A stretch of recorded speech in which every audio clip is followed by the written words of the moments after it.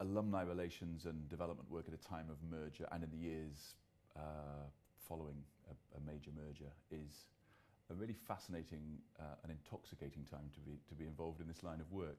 Um, I think some of the lessons we learned at Manchester were uh, uh, would would hold true and be useful for others as well.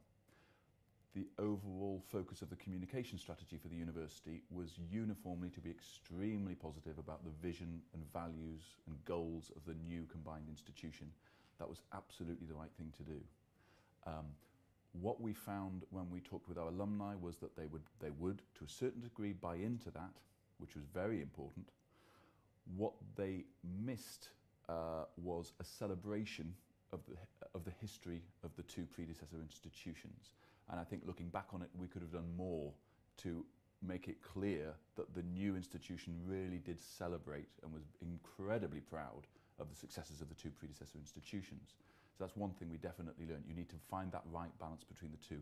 But selling the vision for the new institution is absolutely critical because without that, you're not going to elevate people's thoughts and sights to want to support you financially as well as in other ways.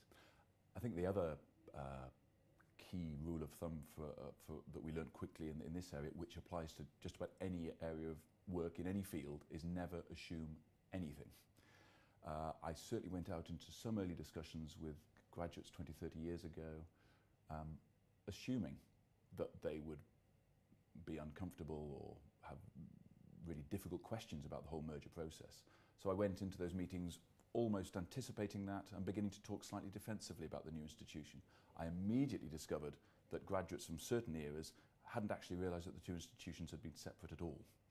So you very quickly learned not to assume anything, um, uh, but overall keep the message positive all the way through.